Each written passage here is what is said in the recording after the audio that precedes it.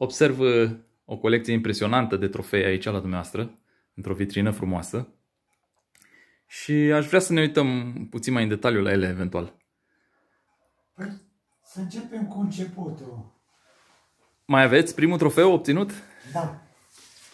Dacă arăt aici, parcă se pierde. Ăsta e primul trofeu luat de mine. Nu mai știu în ce an, poate apare anul aici, mă uit pe...